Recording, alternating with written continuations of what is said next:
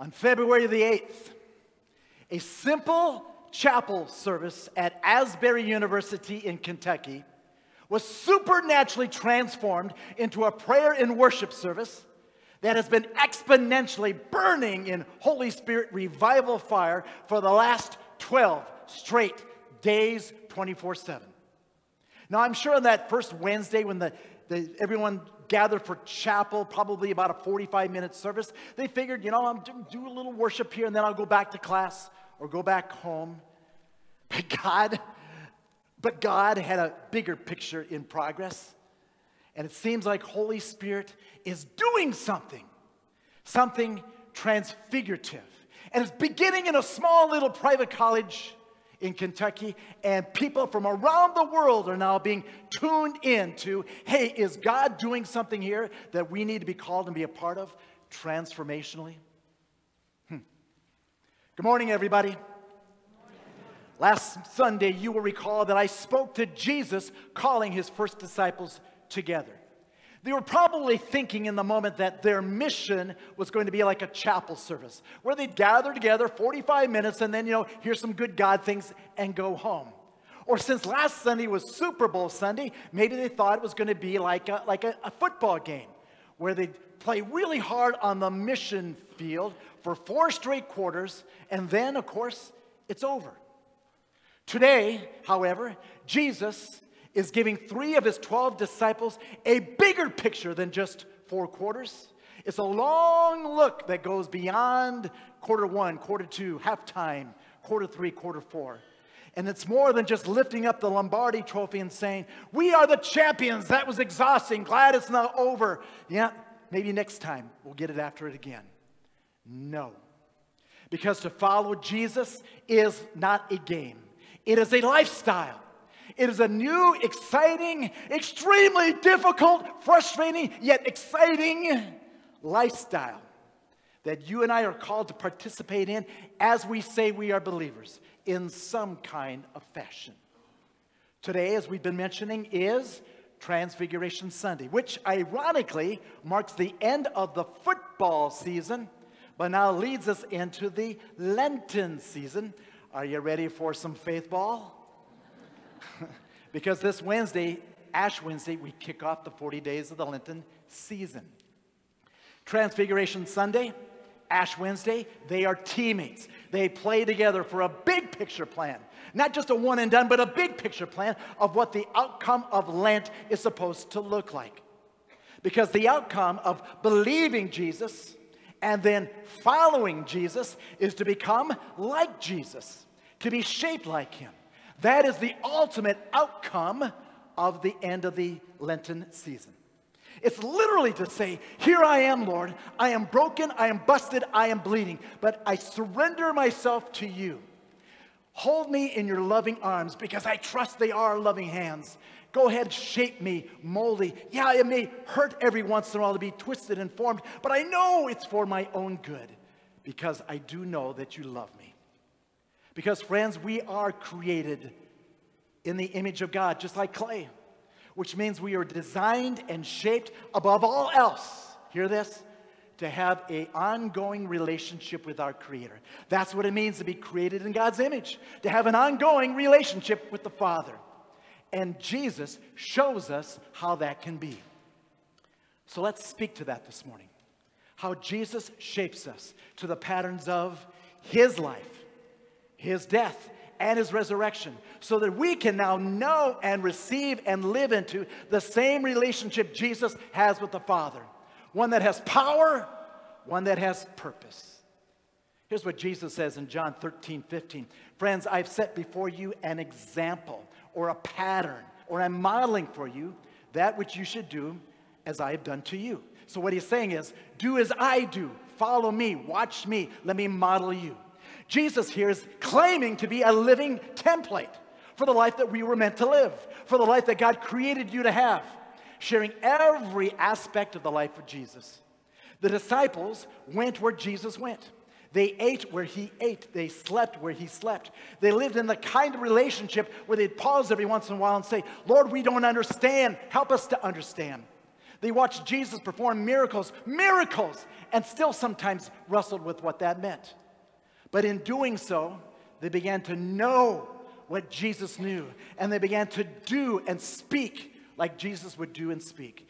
Ultimately, so they could be shaped like Jesus as his body to be sent out exponentially, the body of Christ everywhere, all the time, 24 7. And so when we're shaped like Jesus, we begin to preach like Jesus. You may say, Well, I'll never get up in front with a microphone and preach in front of people. Maybe that is not your calling, but it is your calling to be able to share the gospel with somebody else, the good news of God in your life with somebody else. It is your calling, like Jesus, to raise the dead. There's plenty of dead things around us all the time. Speak Jesus into it. How about Jesus healed the sick? There's a lot of different kinds of sickness, not just physical sickness. Jesus calls us as the body to speak Jesus and bring healing as well. That's so absolutely crucial, friends, for our understanding of what it means to be church. Because all in all, church around the world, I don't think, and of course I'm right, the church doesn't show people, model for people, demonstrate for people how to be a disciple of Jesus very well. We get together and we, we talk about Jesus, we study Jesus, we sing about Jesus, we even serve Jesus really well oftentimes.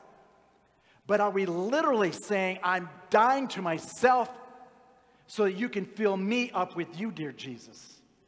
And then be the church that we're called to be everywhere, all the time, in power and in purpose. The Bible says in Romans chapter 12 and 2, Paul writes this. I love this, by the way. He says, Stop! Do not, do not be conformed, that is molded and shaped like clay, to this world, this broken world, this world that's full of half truths and flat out lies about who you are and what your purpose in life is to be. But instead, he says, be transformed, moved and shaped by the renewing of your minds, so that you may now discern what is the will of God. Well, what is God's will? Well, it'll be easy when we have the mind of Christ because He shaped us to have His mind, to have the relationship Jesus had with the Father. Then we will know the, the good and pleasing will of God. And so today we continue our message series on rediscovering Luke and its good news with the story known as the Transfiguration from Luke chapter 9, 28. It begins, as we heard read, with Jesus inviting three of his 12 disciples to join him on a mountaintop experience, to go up. Hear that? To go up, to go up, and begin to be encountered with the living God. It will be way more than just a great academic teaching, which is what a lot of churches oftentimes do, but a literally reshaping of our faces how we look, how we see, how we are seen, to no longer be conforming to the patterns of this broken world, but instead to look different, to be different, to speak different, to have people drawn to us because we are different than the world, so that we're following the patterns of the life of Jesus. In verse 29, it says Jesus' face was transformed or, or transfigured. Another way of saying that is it was altered. His face was altered. I doubt if he was scowling. Mm. I think it was just lit up with a, a sense of joy, don't you? It says he was transfigured. Trans is moving, figured is taking on a new figure, a new shape. Because he wants his disciples to see, at least his three, Peter, James, and John, to see the face of God. Moses, as you recall in the Old Testament, was not allowed to see the face of God. But we are in this moment. What a blessing that is. We get to see the face of God because we get to see Jesus, his life. If you want to know what God is up to, go to the scripture. What's Jesus up to? What did Jesus say? What did Jesus do? When he laid himself out at the cross, what kind of God is that? We see the face of God when we see the face of Jesus. And Jesus is inviting us into that kind of relationship right here, right now. And it begins with prayer. That is the most intimate and ultimate relationship you can have. So much so that his, his face is changed to the face of God. I mean, when you're talking to somebody and they're full of joy, have you ever noticed your face gets full of joy too? And when you're talking to someone and they're full of sorrow, Your face is full of sorrow too.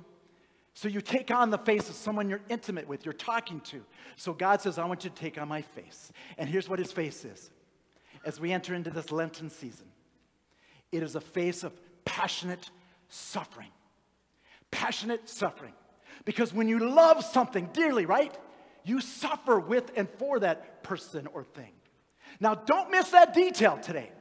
Because Jesus is showing us that when we're connecting to the Father in a relationship, going up, up to the Father through prayer, we are now taking on an attribute of God. And He wants us to have His attributes as the body of His Son. Here's a quick example. If you look to the screen, you'll see a picture of the cross and the heart that you found out in the front lobby last Sunday. I spoke to how Jesus was catching his disciples and they, inviting them to drop their nets and come and to follow him. And then we went on to say, Who are three people in your life that you know that you love? You love them so much and you're suffering because you know they don't know Jesus. They don't have a faith or a very strong faith. And because of that, you, you hurt for them. So write down their names, put it up on that cross, put it up on that heart, and begin to pray for them so they can somehow supernaturally know the love of God in their life. Now, let's watch how that connects back to Luke 9. Because as the story continues, suddenly two great men of the Hebrew faith appear with Jesus. It is Elijah and it is Moses, pillars of the law and the prophets. And in verse 31, they are oddly speaking of the departure of Jesus.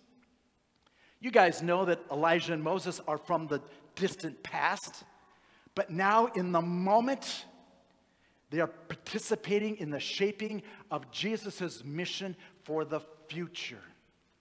It's like Asbury. You know, the three disciples had no idea what this prayer service was going to end up looking like. But something started, something big. Here, Moses, right? The Exodus story of Moses. He says, This is what God wants you to do. He wants you to find the perfect lamb, slaughter it, take that blood, wipe it on the doorposts. The Hebrew people who were obedient and faithful because they trusted such an odd request did it. And when the spirit of death came over, it passed over them. The blood had saved them. The Holy Spirit of God then sent them into the desert and through the Red Sea. And who did that as well? God did that, bringing them to their salvation. So, with that, Moses and Elijah are now moving towards, facing towards, facing towards the future. Speaking now of the accomplishments of Jesus that will come in Jerusalem, where now Jesus is the perfect Lamb of God whose blood will be spilled and wiped on the doorposts of the cross. So when death comes to us, and it all will, it will come to all of us. It will literally pass over you. You are saved by trusting that blood on that cross and then taking us not through the Red Sea, but right through the bowels of hell itself to the other side, which we call the heaven, the kingdom of God, our salvation. How about that? For passionate love. Suffering, yes, because of passionate love. So, how are we to be shaped by that? It's quite easy. It's not brain surgery, praise God. Jesus says, Watch me. Follow me. I'll demonstrate. I will disciple you so you can disciple somebody else. And so, the simple little illustration I'm going to be using now comes from a ministry, ministry called 3DM. Not 3M, 3DM, three dimensional ministry. Three ways that we can experience the relationship with the Father through Jesus. It goes like this up, and then in, and then out. Up, in, and out. And Susan's going to help us. You know what we're doing here, friends? I just want a, a, a visual to be caught in your face caught in your face. So your face begins to face this and begin to face outward. Here's what Jesus says in John 5 and 19 I tell you, the Son can do nothing on his own, any more than you can do anything on your own. But only what he sees the Father doing. So, what Jesus is saying is, I'm being modeled by God what to do. I'm being directed by God what to do because I'm going up to God. I'm leaning into his face. His face becomes my face. For whatever the Father does, the Son is going to do likewise. So we begin with up, looking up. Now, this pastor is guilty a lot of the times of getting up in the morning, and the first thing I do is not looking up to God. I look at my schedule, how busy it is, and how I have to get after things to get everything done. And what do I do? I get things done in my own power, but there's something always missing. Oh, I know what it is the power of God. I missed out on the power of God for my day. There's a calling here to look up, first and foremost. It's like the great commandment. God says, I want you to love the Lord your God, me, with all your heart, with all your strength, with all your mind. Let's go face to face. Here, with that in mind, let's, let's take some look at some Luke, Luke examples of looking up and the power and the possibilities that come when we do so by how Jesus models this for us. There's Luke 5, 12, and 13. A man with leprosy is begging Jesus to be healed. And the man says to Jesus, If you choose, I know you can make me clean. And what does Jesus say? Mm, mm, mm. No, he doesn't. He says, I choose. Immediately, he says, I choose. Because anyone who calls out to God will be heard. That's the model that we're getting here. That God desires healing and he desires restoration. Now, how is it Jesus able to do that? Remember, we just heard him say he can't do it on his own, but only what the Father models for him. So he first turns up to God.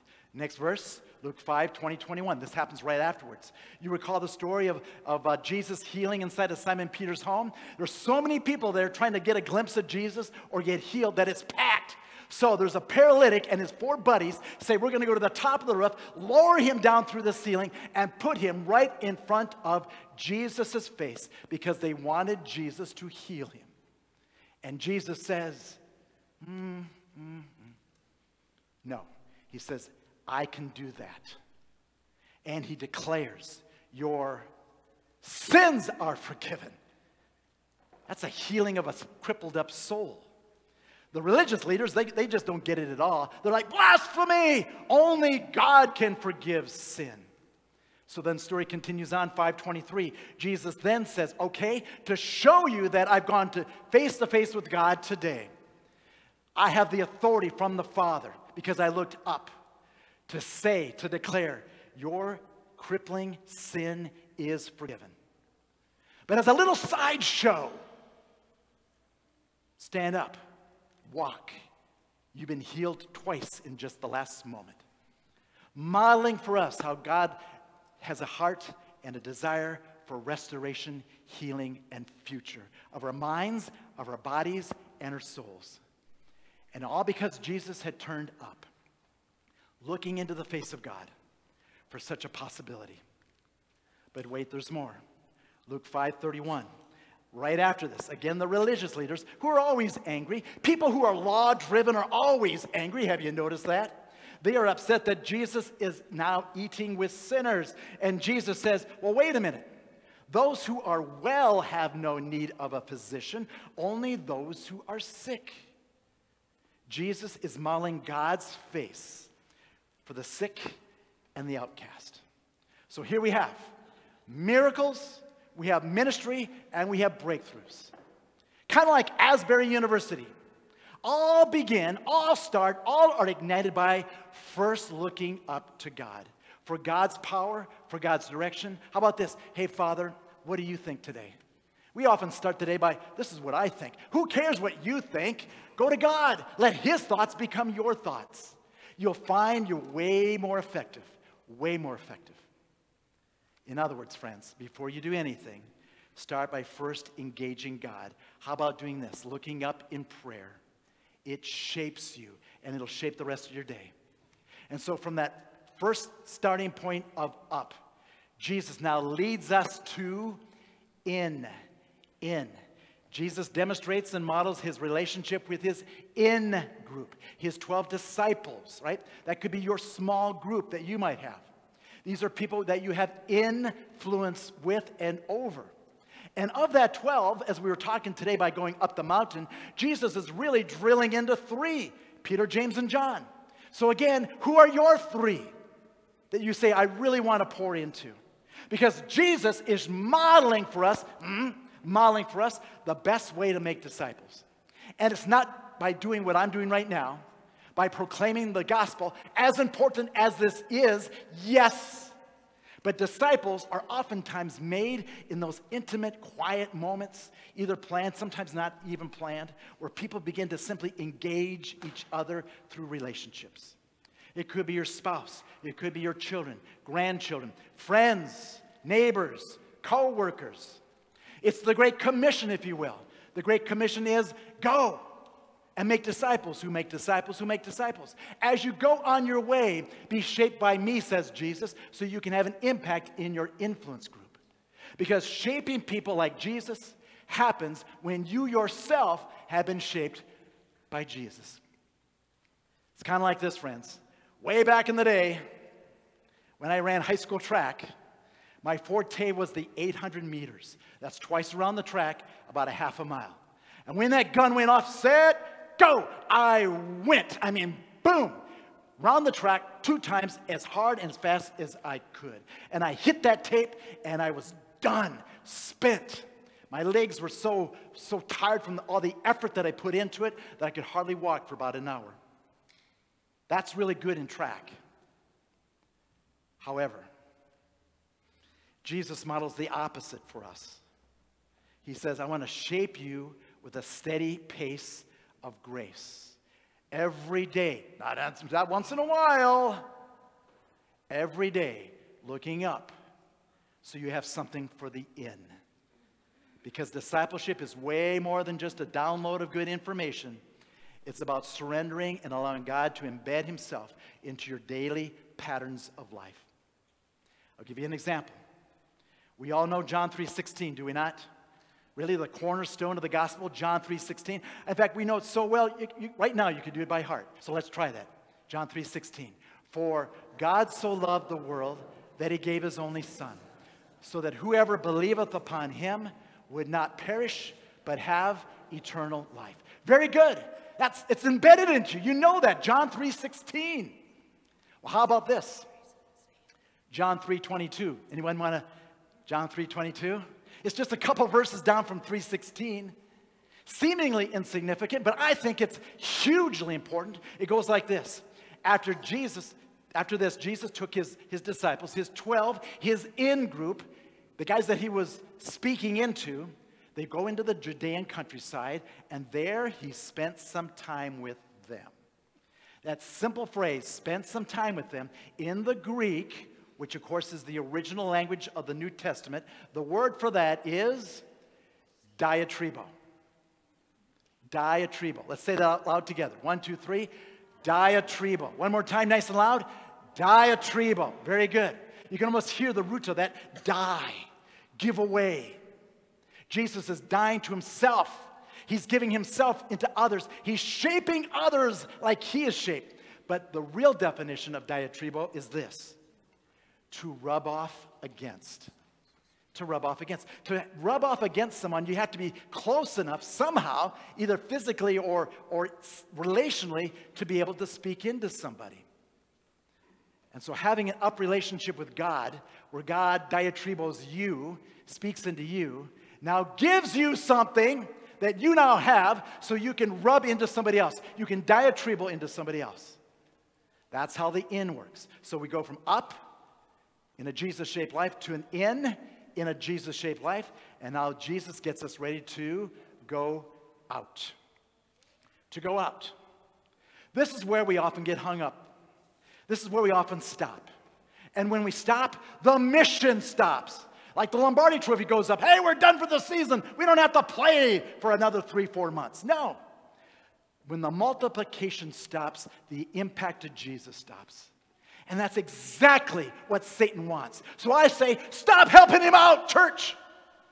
He could care less if you come inside our church building on a Sunday, worship him, or open up the Bible, study him, or serve him inside the church. He just does not want you to go out and into the community.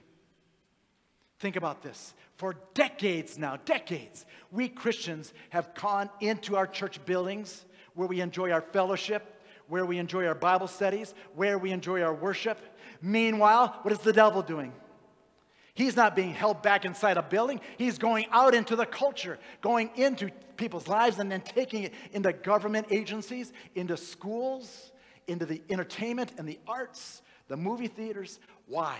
To expand his influence. But Jesus, but Jesus is demonstrating to us his way. His ways, I want you to go out and participate in the salvation of all things in this broken world. Luke, Luke chapter 19, the Zacchaeus story. You know this as Zacchaeus was uh, a Jewish man, but he was working for the Roman government as a tax collector. Therefore, he's hated by his fellow Jews. He's feeling separated, isolated. A rich man, but what good does that do, he thinks? So he climbs up a sycamore tree one day because he hears that Jesus is going to be walking by. He wants to see the face of God. He's looking for something, he may not know what though. And Jesus turns and faces Zacchaeus, calls him down, and says, I'm going to your house today. Jesus then says this The Son of Man came to seek and to save the lost. But a better translation than that, my friends, a truer translation is this the Son of Man came to seek and to save that which is lost. So Jesus went and Zacchaeus' family came to salvation that day. And his co-workers and his business folks came to worship or came to salvation that day. And then as a response to that, they go back out into the community and they begin to invest their money that they had stolen back into ministries. How about that? For transformation. Because yes, people, Jesus came to save people, but he also came to save places and things. Governments, schools, hospitals, the arts, the entertainment. I've been saying it over and over. I want you to grab onto this because all things belong to God. All things belong to God. Therefore, all things are called to give God the glory. When we don't, it's sin. Now, as disciples of Jesus, we are being equipped up and in and then empowered to go out and alter the world with our faces. Alter the world as the face of Christ. Because when we do exercise, hear that? Exercise up and in and out. In Jesus' three dimensional kingdom, our capacity for living the life that we were designed by God to live dramatically increases. Don't believe me? Try it. Here's an example right now, an easy example. What I love about Pastor John is he's real quick to say, hey, how is your spirit doing today? How's your spirit doing today? We could respond by saying, oh, I'm really tired. I'm crazy busy. That's, that's the way the world talks, friends. Catch yourself saying that. Instead, how about you surprise, dear Pastor John, by talking about your in, or excuse me, how about your up with God? How's that going? If it's not going so well, that's okay. Because you can come back. You can come back to God. How's your in doing? How's your out? That'll impact your spirit. Friends, we practice that as a church, and we will be a new fighting force that darkness has no idea how to deal with. I say that's the outcome of Lent, don't you?